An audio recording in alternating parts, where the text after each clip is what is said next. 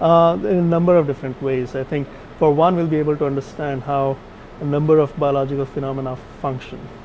Uh, we'll be able to understand evolution better. Uh, we'll be able to deconstruct biology into its constituent circuits rather than constituent parts alone. And with that type of understanding, you can apply it towards, uh, say, medicine, and that would be uh, a predictive and preventive medicine. And that's something ISB is really focused on. The idea being having the knowledge of the genetic variation um, that makes each individual unique, we can then understand how those inter variations interact with one another and with the environment in a manner that you can predict the conditions or the complex diseases that a person might be uh, predisposed to. And an early diagnosis, as you know, for a number of different cases, also helps uh, prevention of the onset of disease. So you can change health habits, you can do drug interventions, and so that's that's one application.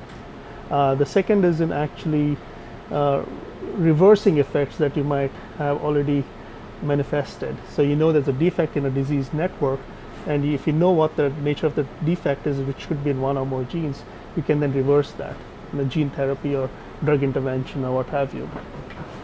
Uh, in terms of uh, biotechnology, you can also take, say, microbes or plants, and you can understand the circuits that give them unique properties, and you can then re-engineer those properties to to introduce some specific functions uh, that can address issues in uh, say bioenergy or bioremediation. Um, th the process would be synthetic biology, and we can talk about that later. Um, so th there's a number of different ways you can apply systems biology at multiple scales. You can even go from uh, single cells to uh, the influence of changes that happen at a single cell, single species level on ecosystem level changes, for example.